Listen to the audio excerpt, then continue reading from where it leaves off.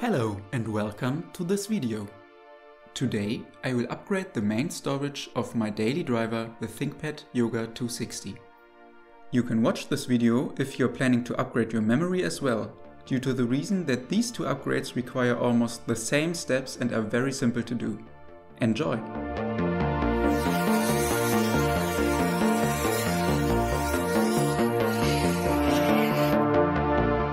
First of all, you should know that only NVMe SSDs with the chips present on one side will fit into the slot of this ThinkPad model.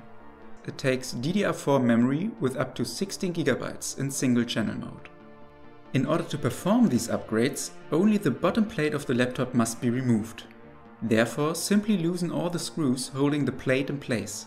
One good thing about these screws is that you will never lose them because they are self-holding ones. So no need to remove them before gently pulling the edges of the bottom cover up. When all clips are loose, you are greeted with the internals of the machine. All necessary parts can be swapped or upgraded from here, including the NVMe SSD, memory, wireless network and mobile broadband card, the battery and display assembly.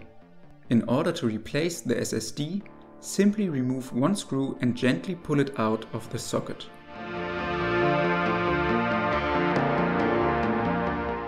Inserting the new SSD is as simple as taking out the old one.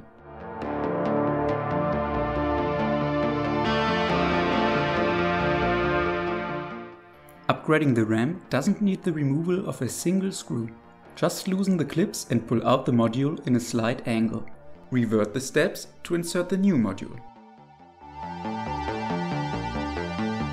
The wireless cards are located here. You only can replace them with the exact models Lenovo shipped with the Yoga 260.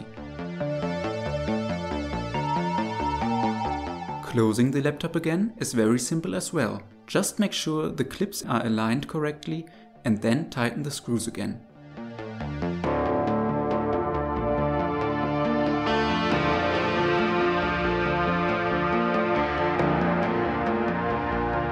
Thanks for watching and see you in the next one.